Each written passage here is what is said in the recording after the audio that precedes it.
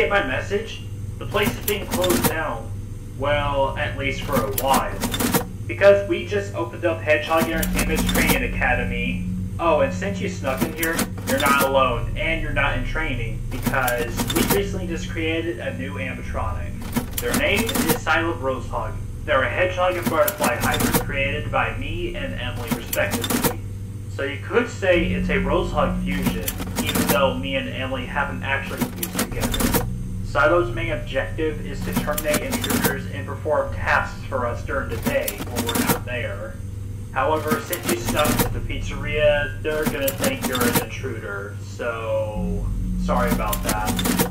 So, if you remember what you did from your training, then this should be a problem to you. However, since you're not in training, if Silo catches you, then you're dead. Again, I apologize for programming Silo to terminate intruders, but since there were some break-ins last week, I had no other options available, so this is what I could do. Anyways, just finish your shift. I better be off now. I've got other important things to attend to. Good night and good luck.